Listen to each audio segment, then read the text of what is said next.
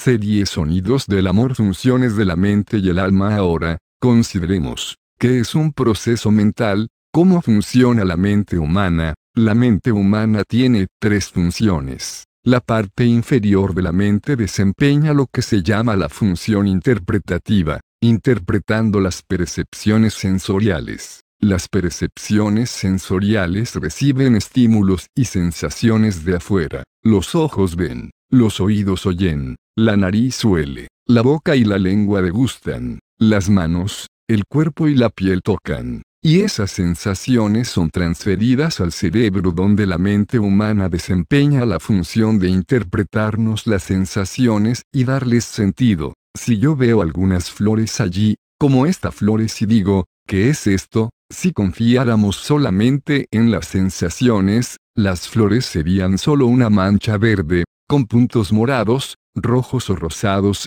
o cualquiera que fuese el color de las flores y no tendría sentido. Los que las convierte en flores y hojas es la función interpretativa de la mente. La mente, por eso, la de sentido a nuestras sensaciones y experiencias que vienen a través de las percepciones sensoriales. Esta es llamada la tercera o la más baja función de la mente. Luego está la segunda o función intermedia de la mente, la cual es muy significativa y se llama pensamiento y razonamiento. El pensamiento es un proceso en el cual empleamos sonidos e imágenes, para revisar todos los elementos de experiencia que llegan a través de nuestros sentidos. Revisamos esas experiencias en la forma de pensamientos o en la forma de imágenes, visualizaciones.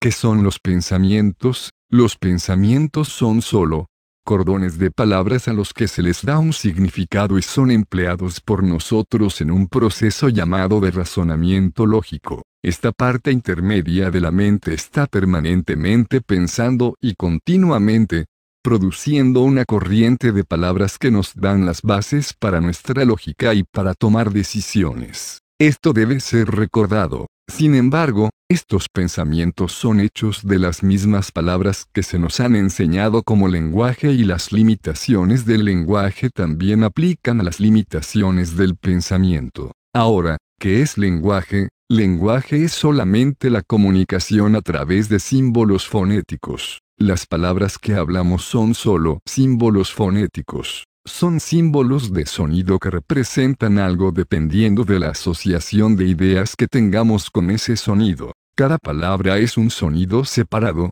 que tiene significado para sí misma, debido a la asociación de ideas que hemos tenido con ese sonido previamente. Si yo digo, silla, ¿qué significa silla? Silla significa una combinación de todas las sillas que he visto desde que usé por primeras vez la palabra silla. Una silla no significa algo abstracto para mí. En el proceso de pensamiento, silla significa solamente las sillas que he visto. Si he visto solo una silla y uso la palabra silla, esta significará solamente esa silla. Si he visto dos sillas y la palabra silla ha sido usada para ambas experiencias, silla significará la experiencia común a ambas sillas. Si he visto cientos de sillas, el significado de la palabra silla se intensificará para incluir todas las cien sillas.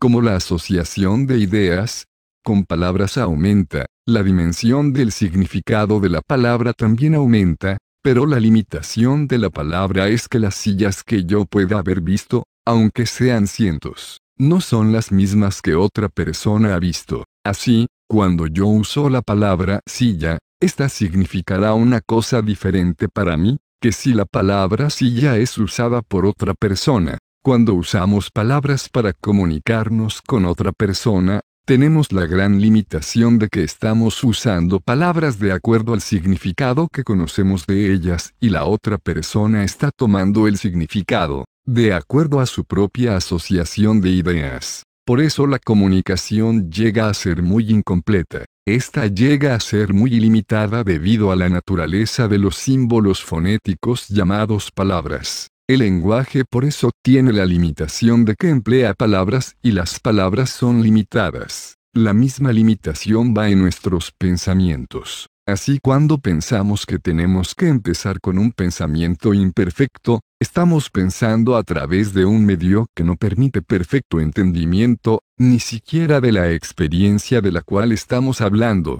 y ciertamente no se relaciona con la experiencia de otros seres humanos, que están empleando sus mentes para interpretar las mismas palabras. Ahora, ¿qué es el empleo de palabras en el proceso del pensamiento? ¿Cómo pensamos? Pensamos porque usamos esas palabras en frases y luego usamos las frases una detrás de la otra, para crear un sentido lógico. Cuando usamos la lógica, pensamos que hemos encontrado una cosa sensible.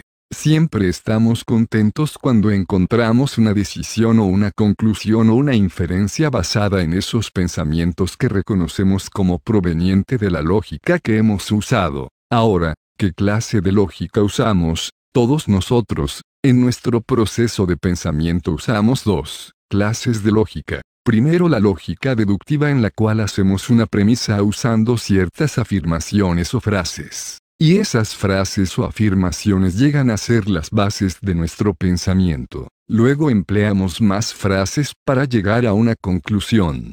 Por ejemplo, podemos describir una pared particular como una pared que tiene color rosado y decimos, esta es una pared rosada, la pared completa es rosada, esta porción de la pared en el centro es parte de esa pared, por eso debe ser rosada. Este es un caso típico de la lógica deductiva que usamos todos los días. Notamos que esta clase de lógica deductiva no nos da ninguna información nueva, no nos da nuevo conocimiento. Estamos ciertos acerca de lo que sabemos, pero entendemos que ya lo sabíamos, por eso la lógica deductiva nunca agrega conocimiento y nunca da nada nuevo en el proceso de pensamiento. Esta es una limitación grande en el uso de la lógica deductiva. Por otro lado, tenemos un segundo proceso llamado lógica inductiva. ¿Qué es lógica inductiva? Al usar la lógica inductiva la mente emplea un método que va más allá de la premisa conocida. Si tomo el mismo ejemplo de la pared pintada de rosado y digo,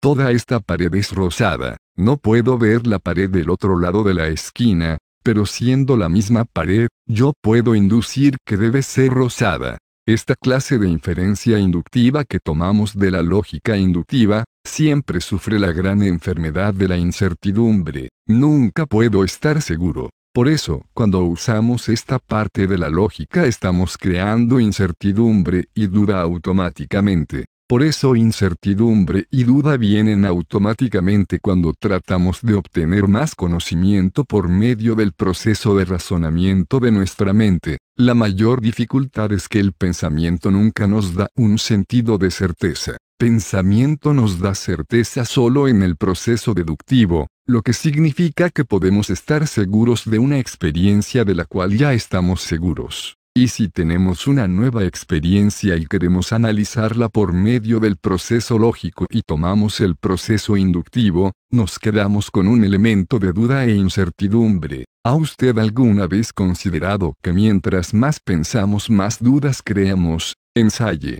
Usted piensa sobre una cosa en particular y se da cuenta de cuánta duda tiene y se queda pensando en la misma cosa una y otra vez. Trate de ir más allá y encontrará más y más dudas y más y más incertidumbres aparecerán. Por eso, esta clase de lógica y esta clase de uso de la máquina del pensamiento es acosada con el problema de la duda y la incertidumbre. Esta duda e incertidumbre afecta todas nuestras relaciones. Primero que todo quita la experiencia del amor, y no nos permite que dicha experiencia permanezca con nosotros. Tenemos solamente un relámpago de experiencia llamada amor, y luego viene el pensamiento. Y la mente, pensante, destruye la experiencia del amor. Me referiré a esto un poco más, pero permítanme hablarles acerca de la parte superior de la mente, la primera parte de la mente, que está haciendo ella, cuando la parte media está pensando.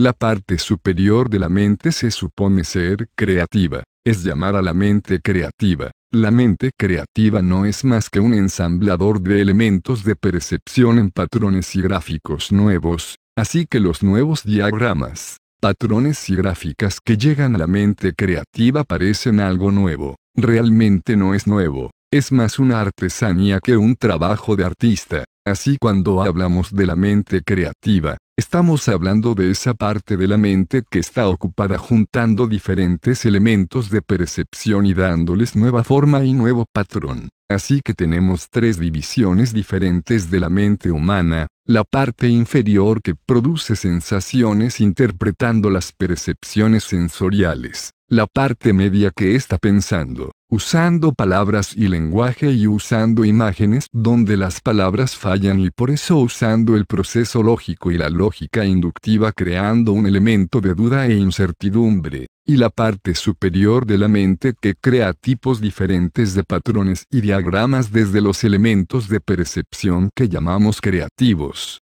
El punto que quiero mostrar acerca de la mente es el siguiente, ya sea que esté percibiendo o sintiendo, que esté pensando, razonando o creando, solamente está funcionando dentro del marco del tiempo y del espacio y causalidad.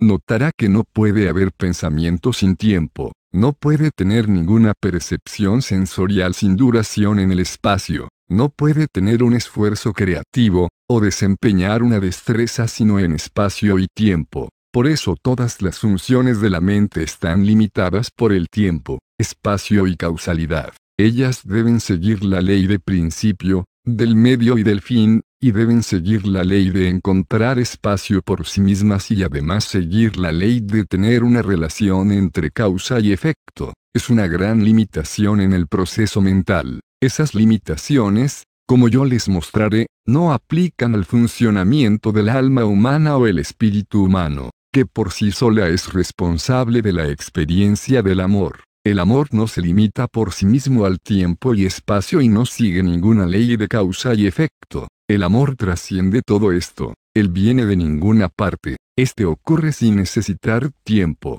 Recibimos el sentimiento del amor. No podemos decir, Tomo cinco segundos para ocurrir o le tomo este o aquel tiempo para ocurrir este es sin tiempo, sin espacio y sin causa. Nunca hemos tenido a alguien teniendo una experiencia de amor que pudiera estar limitada a estas dimensiones. Estas dimensiones son reservadas para la mente humana. Voy a elaborar en como amor, intuición, gozo y felicidad, que son la naturaleza de nuestra alma, de nuestro espíritu, trascienden los límites de tiempo, espacio y causalidad. Las tres funciones de la mente humana, sentir, razonar y crear y todas están limitadas por el tiempo, espacio y causalidad. ¿Cuáles son las funciones del alma o espíritu humano, el cual es sin tiempo? Veamos si el alma humana tiene funciones similares. Sí, el alma humana tiene que efectuar funciones. Esas son llamadas intuición, amor, gozo y belleza. Veamos las tres funciones del alma. Intuición es un proceso en el cual recibimos un relámpago de conocimiento, que no se relaciona con el proceso de pensamiento que está ocurriendo en nuestra mente al mismo tiempo. A esto se le ha llamado corazonada. A veces pasa como un presentimiento, un relámpago, un sentimiento repentino y uno dice, yo sé esto, no sé cómo pero sé que pasará así. No sé por qué, pero sé que es la verdad. No sé cómo ni por qué cuando este sentimiento llega es un presentimiento intuitivo. Estas corazonadas intuitivas nos llegan a todos. Son una función natural del alma y el espíritu humano. Y por eso no están limitadas a personas particularmente dotadas. Usted no tiene que ser un yogi, un sadhu o un místico para tener experiencias intuitivas. Todos tenemos experiencias de repentino conocimiento, que llegan de ninguna parte, sin espacio y sin tiempo. La experiencia intuitiva es muy confiable, esta tiene su propia certidumbre, y es diferente del proceso mental de pensamiento que nos da una inferencia racional diciendo, A es B grande, B grande es parte de A, por eso B grande es A. Quiero decir esas viejas inferencias y logísticas que el razonamiento nos da, no tienen la certeza que la corazonada, el repentino conocimiento tiene. La segunda función, amor, es igualmente espontánea. No depende del tiempo, espacio o la naturaleza de nuestro pensamiento en ese momento pasa de repente. Es solo un sentimiento, viene de dentro de nosotros. Viene de ninguna parte, no sabemos de dónde vino y que fue responsable, por eso, rápidamente nos damos cuenta de que nos hemos enamorado. Y esta experiencia repentina es dramática por ser súbita y espontánea lo mismo que la experiencia de la intuición. No requiere tiempo ni espacio ni sigue ninguna ley de causa y efecto. Esta es la segunda función del alma o espíritu humano. La tercera función, que hemos descrito como la función estética, la función de la belleza, se mezcla con gozo y belleza, y gozo en cualquier experiencia, ocurre con la misma espontaneidad que el amor y la intuición. Cuando sentimos que algo que estamos mirando es bello, cuando tenemos la sensación de belleza, sigue los mismos principios de espontaneidad, de no tiempo, no espacio y no causa efecto como el amor y la intuición. Esta lleva consigo la sensación de gozo que se tiene a través de todas estas experiencias. Por eso, cuando tenemos el alma o espíritu de un ser humano funcionando, tenemos esas tres funciones y todas están por fuera del dominio del tiempo, espacio y causalidad. No podemos ver algo bello y decir, para aparecer la experiencia de belleza, se necesitó un tiempo. La belleza, el sentido de lo lindo, no necesita tiempo para aparecer. La experiencia puede estar en el tiempo y en el espacio, pero el sentimiento y las experiencias de belleza no están limitados al tiempo y espacio. ¿Cómo es que estas experiencias pueden existir sin tiempo y espacio? Ellas existen sin tiempo ni espacio porque nuestra alma, el espíritu inmortal, la conciencia inmortal, el espíritu inmortal entre nosotros, nuestra parte inmortal, no descansa en el tiempo y el espacio, va más allá de tiempo, o espacio. Así cuando tenemos experiencias de intuición, amor y belleza, mezcladas, con un sentimiento de gozo, son experiencias que no toman espacio ni tiempo. Por otro lado, tenemos experiencias de pensar, de sentir, percibir, razonar, crear, elaborar que toman tiempo y espacio. La primera distinción entre el proceso mental y el proceso espiritual o del alma es la diferencia entre el marco de espacio, tiempo y casualidad que el uno requiere y el otro no. Pero tenemos una mezcla constante de las dos cosas. Decimos, no, es posible tener una experiencia mental sin tiempo. Podemos tener una repentina inferencia que ocurre en el relámpago de un momento. Esto no es verdaderamente sin tiempo. Si nuestra mente está alerta y se vuelve como un computador, reduciendo el tiempo de la inferencia para llegar a una conclusión lógica, está todavía operando en el tiempo. Menos o más tiempo, de todas maneras es tiempo. En el caso de amor, intuición, gozo y belleza, no hay tiempo, no hay ni siquiera un relámpago de segundo. Un nanosegundo es la billonésima parte de un segundo. Si observa su presentimiento intuitivo, notará que no toma la billonésima parte de un segundo. Por eso, este está libre de tiempo. El tiempo separa la función mental de la verdadera función espiritual. Ahora me concentraré en hablar acerca del amor, porque amor es la función, que genera las demás funciones.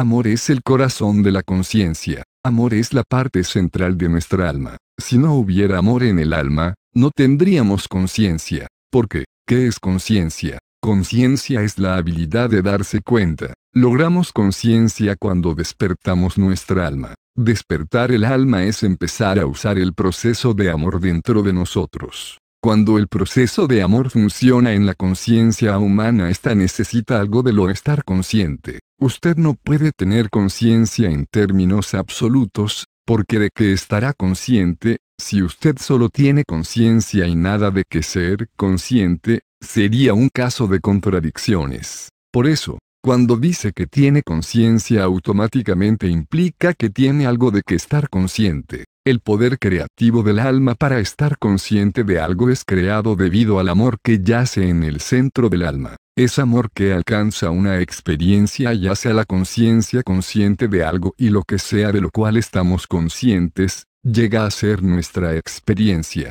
Todo este mundo, el universo alrededor de nosotros, es creado desde esta sola fuente de amor. Amor que crea conciencia, conciencia que necesita algo para estar consciente de ello y aquello de lo cual es consciente llega a ser la creación. Llamamos amor al Creador, llamamos amor a Dios. ¿Por qué? Porque el amor guía la conciencia que necesita algo para estar consciente. Y cualquier cosa que fuese lo que necesita para estar consciente de ella, llega a ser la creación. Por eso es apropiado considerar el amor como el creador, amor como la base detrás de la conciencia, amor como el centro de la conciencia interna. Ahora, cuando hablamos de amor en estos términos, automáticamente estamos dándole un significado divino. Hay un amor divino separado del amor humano. No se de distinción alguna entre un tipo de amor y el otro. Pienso que amor es amor y no creo que haya algún amor fuera del sistema humano. Pienso que la divinidad viene dentro del sistema humano. ¿Han ustedes visto divinidad fuera del sistema humano? ¿Han visto alguna experiencia divina que no sea experimentada por un ser humano? Cuando hablamos de experiencia divina, ¿quién tiene esa experiencia? El ser humano. Todo en la naturaleza, todo en la creación, cada gota de polvo y cada hoja de árbol es divina, porque el ser humano la experimenta. Si el ser humano no experimenta esa divinidad en todo alrededor, ¿cómo puede haber tal cosa como amor divino? Así, amor divino es lo mismo que amor. Cuando es dirigido al Creador dentro de nosotros, se vuelve divino. Cuando es dirigido a la experiencia, se convierte en amor humano. Cuando podemos ver que nuestro amor fluye afuera a través del proceso mental y la mente comenta acerca de la experiencia de amor, este se vuelve humano, se vuelve amor entre seres humanos. Incidentalmente, no hay tal cosa como amor por seres que no son humanos. Usted puede tener apego por perros y gatos, casa y carros, dinero y balances en el banco puede estar apegado a esas cosas. En cada experiencia de apego a estas cosas usted nota que hay dos, usted y la cosa a la que está apegado. Pero en el caso de amor, usted no tiene esa experiencia. En el caso de amor,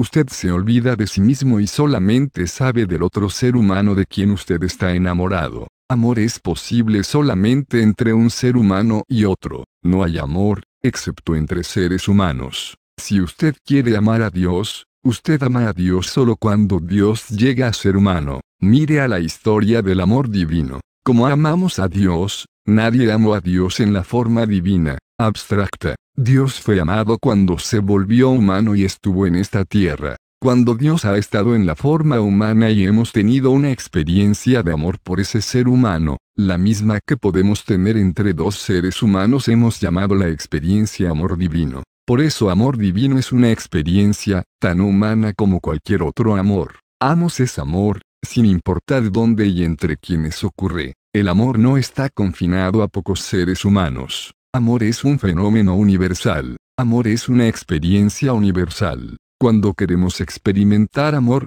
si la mente se mete y el pensamiento interrumpe nuestra experiencia de amor, tenemos que encontrar una forma de estar cerca de donde el amor está. Esto es más cerca de nuestro corazón y del alma. Cuando estamos con nuestros pensamientos y nuestra mente, nos separamos del corazón y el alma. El corazón y el alma son el asiento del amor. Si queremos tener una experiencia de amor, debemos acercarnos a nosotros mismos.